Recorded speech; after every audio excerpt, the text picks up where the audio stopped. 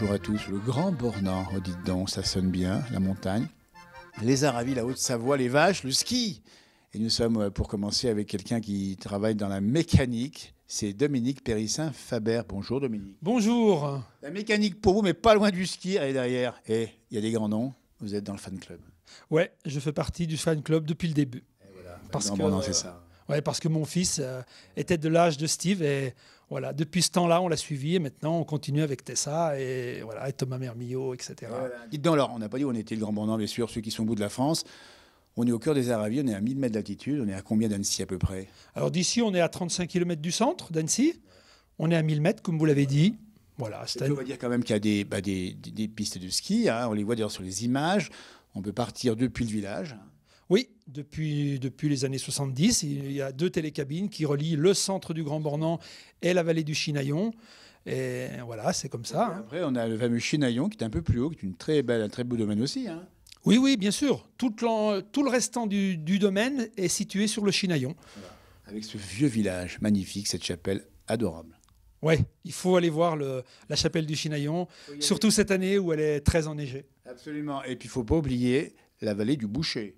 Vallée du Bouchet, euh, cœur des agriculteurs, du reblochon, des fermes euh, tous les 100 mètres Et du bon fromage. et du bon fromage. On peut le goûter tous les jours et voilà. C'est ça qui explique, la géographie qui explique ça. Ça veut dire que quand on a des pistes comme ça, eh ben, on a des champions comme ça. Peut-être que leur médicament principal est le reblochon et peut-être que ça en a fait des champions. Il y a peu de contrôle. hein. Peut-être que c'est ça. Je ne peux pas l'assurer. sans modération, le reblochon. Dites-nous un peu, on a parlé effectivement de fan club. On avait assisté au retour des champions après les derniers Jeux. C'était énorme ici au Grand Bornand. C'est qu'il y a une culture du sport ici. Ouais, culture du sport euh, d'hiver, hein, c'est sûr. Euh, le ski club forme d'énormément de champions, puis surtout dans différentes disciplines. Euh, on a eu Sylvie Bécard en biathlon, et puis voilà, Tessa, Steve, euh, en ski cross, les frères Middle. Enfin, c'est très varié. Nelly Moine Locose en ski cross. Alors c'est euh, voilà, c'est- comme ça. Il y a plein de champions. euh, Et Benjamin Davy en handisport aussi. et Benjamin en handisport, on n'arrêtait pas de le, le dire, mais je crois que la commune a mis beaucoup de moyens au niveau du ski club et c'est comme ça que, en faisant des efforts, ben, le ski club est très fort, on peut le dire. Absolument. Et c'est comme ça qu'on perpétue, en fond, la, bah, les- un peu l'héritage, c'est-à-dire qu'on renouvelle aussi avec les jeunes. hein. Oui, ben, les jeunes, je pense que euh, des jeunes qui rentrent au ski club, ils ont cette vue des anciens, ils se disent, moi j'aimerais bien être un Steve Missillet, j'aimerais bien être comme Tessa Worley. Ben, faut Ça bosser, faut s'entraîner. Et il faut bosser. Et on va le dire, bah, Dominique, les gars du pays, ils mouillent la chemise. Oui, Et les filles aussi. Ben oui, les garçons et filles euh, Non, mais- qui font du sport. De toute façon, euh, tous les sports, même euh, hors sport d'hiver, il faut travailler dur pour y arriver. hein. Il n'y a pas de Bien secret. Il n'y a pas de secret. Bien sûr, Dominique. Et c'est un pays où on n'a pas peur de l'effort. Je pense, peut-être par les origines euh, du village, de, de l'agriculture. hein, euh, c'est en montagne, c'est difficile. Peut-être qu'ils ont ça dans le sang. Et voilà. Vous avez pratiqué le ski, vous? Un petit peu, très modérément.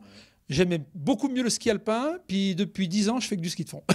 Ben voilà, chacun ses goûts, il faut bien le dire aussi. hein. ouais, je- j'aime les efforts. Donc voilà. Parlons un peu d'Alparavis, où nous sommes ici pour l'interview avec une vue, mais une vue énorme. ici. Eh, c'est joli là. Ben oui, certains me disent pourquoi tu as fait un garage à cet endroit-là? Oui, c'est une bonne question. Ben, Écoutez, cette question, je vous la pose.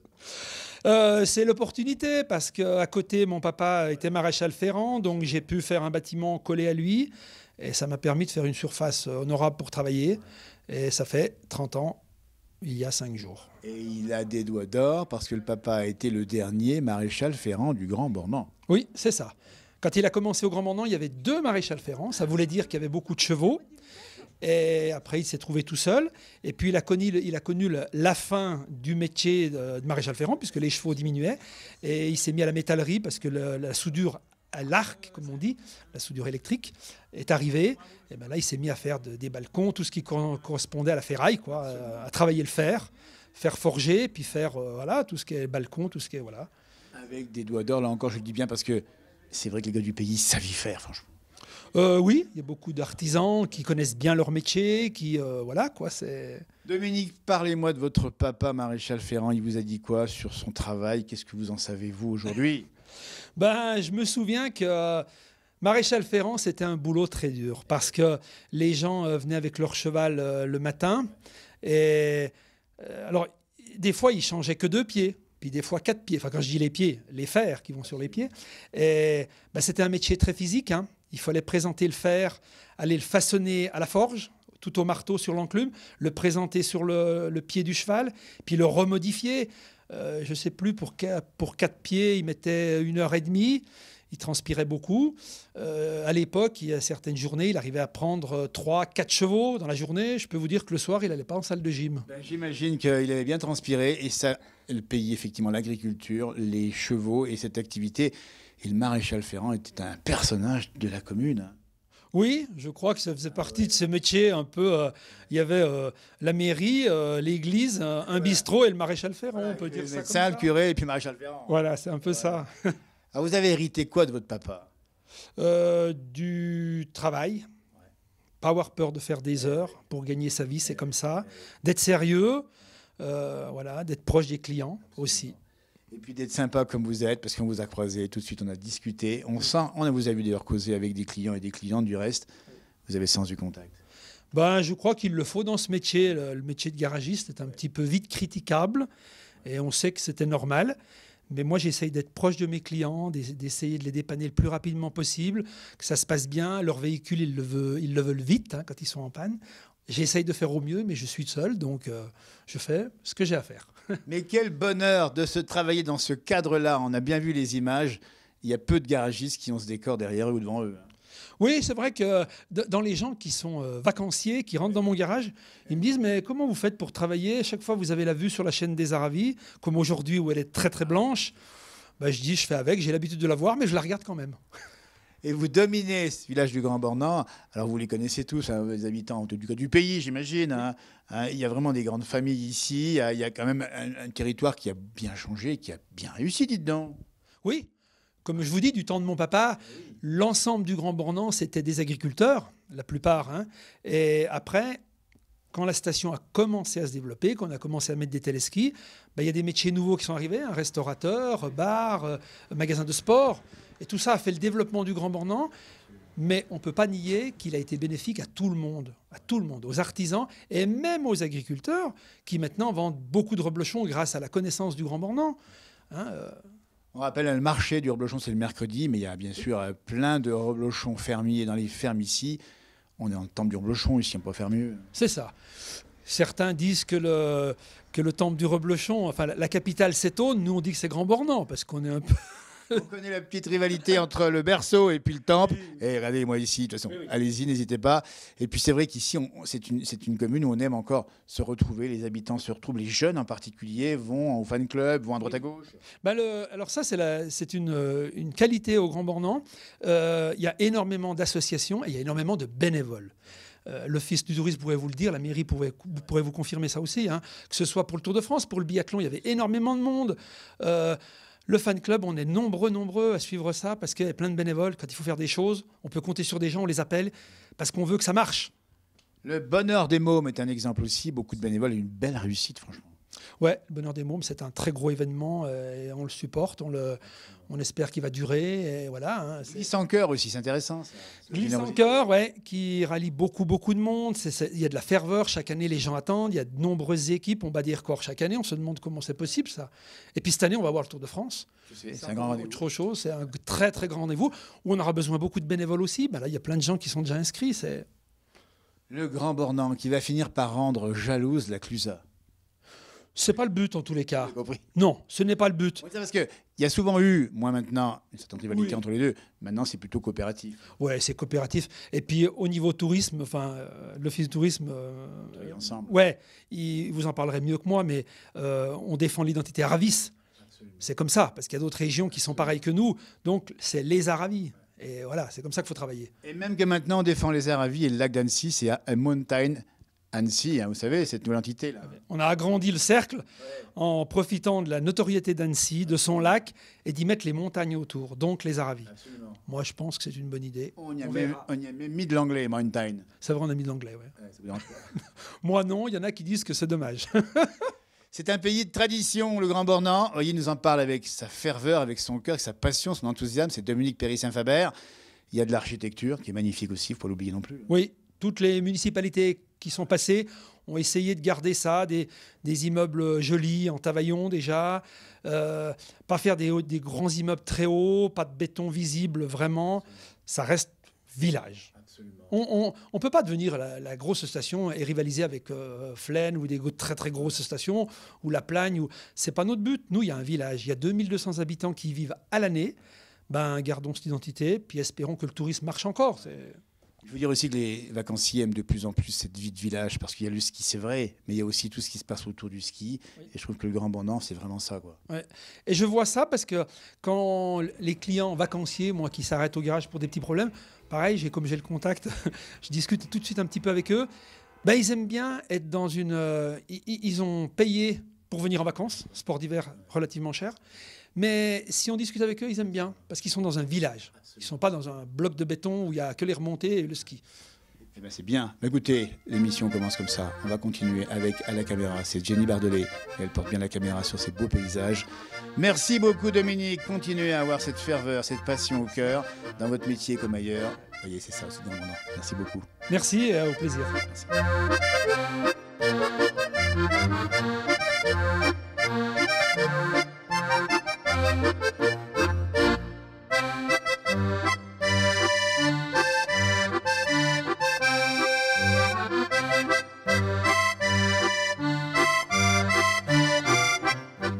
On remonte le temps avec le dernier maréchal Ferrand, Max Péry-Saint-Faber, avec son épouse ici, et puis, eh bien, Gilles, le fils de Dominique qu'on vient de voir. Oui, Et vous avez travaillé ici euh, travailler, je lui donnais des coups de main. Euh, S'il pouvait pas souder, quand il soudait les sonnettes des agriculteurs. Alors, fallait tenir le, le masque, il fallait. Il s'envoyait pour euh, réparer ses sonnettes. Et je venais tenir quelque chose, l'aider. Il m'appelait, il me disait, j'arrive pas. Alors j'avais des tenailles, puis je me tenais comme ça. Et puis j'avais peur des étincelles quand il soudait dans la sonnette. Oui. Ça, c'est. Puis là, j'ai Et là, percé. là, qu'est-ce qui s'est passé là? J'ai percé des gardes-neiges, là. Ah oui. On rappelle les gardes-neiges que c'est. Les gardes-neiges qui, sur le toit, pour empêcher la neige de descendre. On est au Grand Bornand, il fait pas, il y a de la neige ici. Oh oui, oh ben là, Alors, plus qu'à Bien hein. sûr. Et vous vous rappelez bien sûr, Marcel, vous vous rappelez des chevaux qui venaient ici. Ah oui. Il y en a un, euh, il était tellement désagréable et har- hargneux, quoi. Il ne voulait pas se laisser ferrer, bien sûr. Alors, euh, il a tellement bougé qu'il a cassé les chaînes. euh, Oh là Il a quitté parce qu'à un moment donné, il faut expliquer, Marcel, mais ça c'est vrai que quand le cheval a disparu, les maréchaux ferrants ont disparu. Oui, euh, il n'y a plus personne. Il À, part un maréchal ferrant ambulant. Ah oui. Oh, je crois qu'il y en a un à Dingy, je crois. Je existe encore parce que le cheval revient pour le loisir et il faut les ferrer aujourd'hui. Eh oui, bien sûr. Oui. Et Et puis. quand il a fallu quitter son métier, il a dû être un peu peiné de voir qu'il fallait faire autre chose. Après, il est passé en métal- Ben, métallerie, métallurgie. Euh, non, euh, il, il voyait bien qu'il y avait de moins en moins des chevaux. Ouais. Puis voilà. Et puis l'héritage est là, c'est les enfants, c'est Dominique et Gilles. Dominique, lui, il fait des petites merveilles en voiture. hein. Oui, ben lui, il est mécano. Il a hérité des doigts d'or du papa comme Gilles, c'est ça hein Ouais, Serrurerie, métallerie, ouais. Métallerie. métallerie. Ouais. c'est ça. Gilles nous a euh, acheté le fonds de métallerie Mais après avez- que mon mari est décédé. Mort il y a combien de dix- euh, 12 ans, c'est ça hein Il y a déjà 12 ans. Oui. Mais vous avez gardé, et on le voit sur les images de Jenny, de Jenny, vous avez gardé quasiment intact les fers à cheval et tout ça. Ah oui, moi, je, puis j'aime venir et vous là. venez ici encore? J'aime venir là parce que je, je venais euh, le samedi, je me souviens, et il allait se reposer un moment, mon mari, puis après il me disait, euh, tu viens, tu viens m'aider à ranger l'atelier. Et je venais l'aider. Et depuis, j'ai toujours aimé venir faire ça. Ah oui, Et il y a encore son esprit qui est là quelque part. balaye, je range, j'aime bien. Et vous le revoyez travailler aussi. Puis je le revois, je le revois surtout là devant, devant la, la fournaise, l'enclume. Parce que c'est la forge et c'est ça. L'enclume, ah ben L'enclume, oui. Il faisait pas beaucoup de faire forger, il n'avait pas beaucoup appris. Mais il fallait ça pour euh, forger les fers à chevaux. Ah ben oui. On a parlé effectivement des, des chevaux qui venaient ici, mais il y avait aussi tous les paysans, il y avait peut-être des figures qui venaient ici. Et mais bien sûr, bah, des gens du pays qui sont décédés, qui sont plus là, et il y a plus de chevaux. Et c'est l'histoire du village, comme de la France en général, les tracteurs ont remplacé le cheval. Ah ben bien sûr, oui. Voilà. Votre regard, parce que vous allez être un peu pressé, votre regard sur le Grand Bornand, vous, vous en pensez quoi de ce Grand Bornand que vous dominez ici depuis l'endroit là? Moi, j'aime bien le Grand Bornand. Vous êtes de Tône, hein? Je suis de Tône, mais je, je trouve que Grand Bornand, c'est plus beau qu'à Tône. C'est joli. Ça fera des amis du côté Les du bas. montagnes, Mais c'est plus, un les- peu plus haut, c'est vrai. La neige, Ouais. moi, j'aime ça, moi, la neige. J'allais à l'école au Glapinier, à côté de on- je l'ai brassé, la neige, je l'ai brassé. Alors, ça me fait rien de voir de la neige. hein. sûr. Ah oui, l'autre jour, j'en avais 1m20 sur ma terrasse. Mais j'aime bien. Eh ben, dites-nous, alors, rappelez donc juste votre âge. Quel est votre âge à peu près?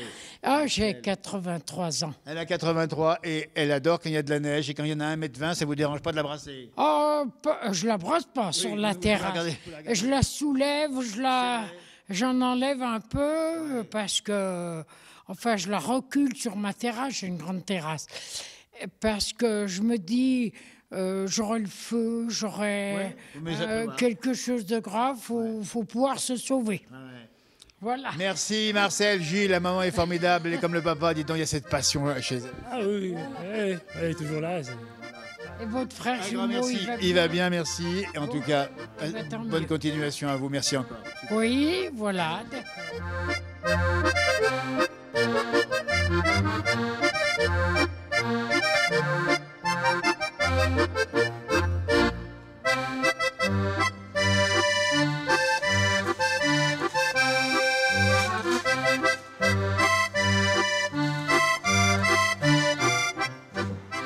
La page agricole comme on l'aime et que vous allez adorer, au Grand Bornand, eh bien on va parler bien sûr reblochon, on va parler vaches et on va le faire avec une passionnée et sa sœur, c'est Régine et Aurélie Missilier. Quand je dis passionnée, le mot est, est même faible. C'est une passion qui se transmet de génération en génération. Nous, euh, les grands-parents étaient déjà des fervents défenseurs de l'agriculture. Et puis, euh, bah, les parents aussi. Nous, on s'est installés avec les parents.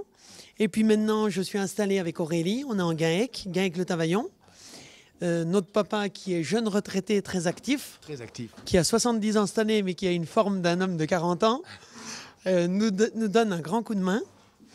Alors, on a une soixantaine de vaches de race abondance. Et ce sont des vaches laitières. Notre production principale, c'est le lait. On fait un peu plus de 300 000 litres de lait par an. Et ces 300 000 litres de lait sont transformés en, à 70% en reblochon fermier. Et le reste en abondance, qui est une AOP aussi, abondance fermier. Euh, un peu de tome, et puis un petit peu de fromage à raclette. Et voilà, bah, des bonnes choses et en plus quasiment tout vendu en direct. Ben, les fromages sont affinés ici, une partie des fromages.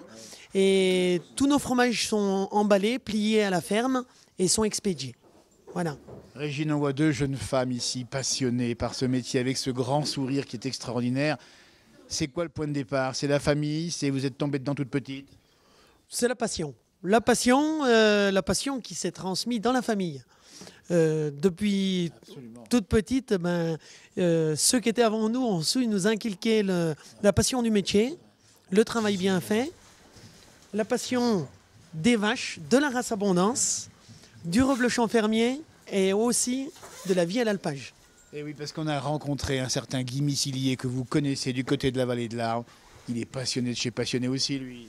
Ah ben, euh, quelqu'un de plus passionné que lui, je sais pas s'il y en a. Ah bah, Peut-être vous, dites donc. non, quand même pas. Bien loin. Mais c'est vraiment un passionné et surtout un connaisseur de vaches.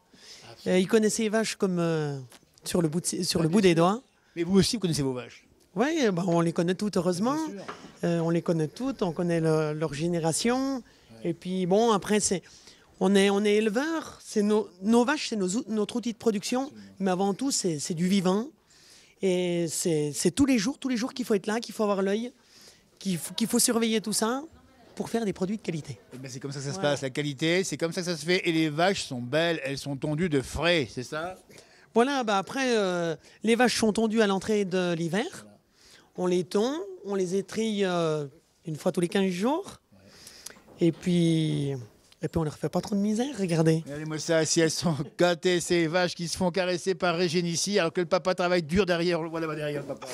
Et ouais, heureusement qu'il est là. hein. Dites donc. Alors, qui fait quoi entre Aurélie et vous, dites donc? Eh ben, on fait tous un peu tout. Ouais. Voilà, alors euh, Aurélie et moi, on s'occupe de la traite. Le papa s'occupe de, de nous aider à nettoyer les étables. De, il va aussi vers les fromages. Nous, on est aussi vers les fromages. On est tous les trois aussi bien vers les vaches que vers les reblochons. Voilà. La partie traite, alimentation des vaches, c'est moi, c'est Aurélie. Et puis la partie vraiment fabrication du fromage, c'est Aurélie et moi. Et puis après, bah, le papa nous aide à tout ce qui est affinage, euh, et puis les soins aux vaches, euh, un peu partout. Voilà. On est très complémentaires tous les trois. Mais des heures et des heures par jour Alors, euh, on, est au, bien tr- on est aux 35 heures. hein. Oui, mais. Oui, par, euh, mais par contre, je crois que le mardi soir, elles sont finies. Ça, c'est formidable. Parce que c'est le Grand Bornand, c'est ça qui est formidable. C'est qu'ici, de tout temps, les gens ont travaillé dur et ils ont réussi. C'était valeurs du pays. du travail, il y en a, il n'y a pas de souci. Euh, mais bon, il faut, faut vraiment être passionné pour, pour faire ce métier, surtout ici. Au Grand Bornand, c'est une station où il y a, on dit 2000 vaches, 2000 habitants. Euh, le tourisme s'est beaucoup développé. Par contre, l'agriculture n'a pas été mise de côté. Et c'est ce qu'il faudra bien préserver pour les années à venir. C'est de bien maintenir le côté agricole sur, euh, dans cette station de ski. Voilà.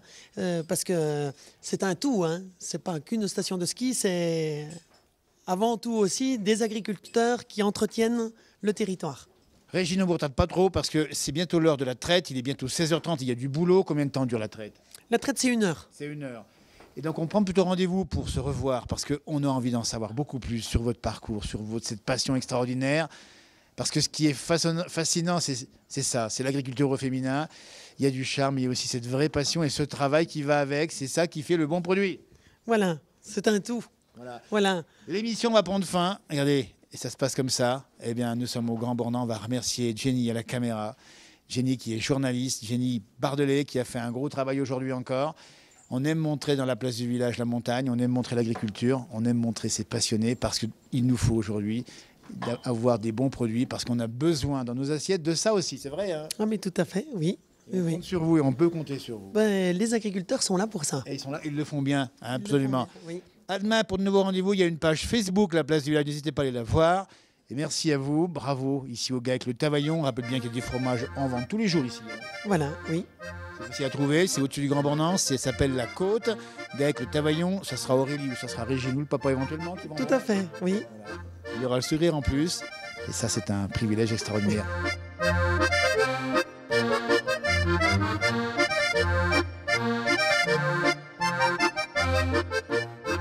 Merci de l'accueil hein, des, des sœurs Missidier ici, formidable, franchement, Aurélie.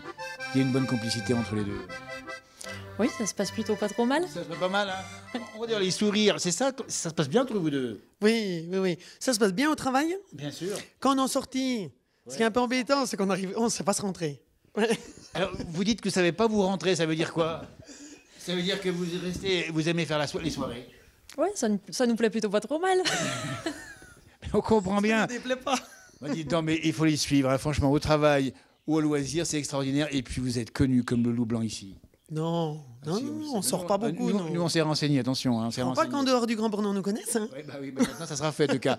Merci de l'accueil. On vous reverra, Aurélie et Régine, dans la montagne l'été. On a été ravis de vous faire connaître aujourd'hui, pour ceux qui ne vous connaîtraient pas.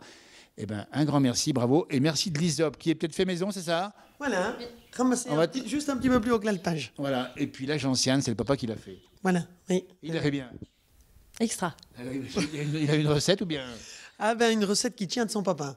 Le grand-père, il, il est parti, euh, il nous a quittés, il avait 94 ans.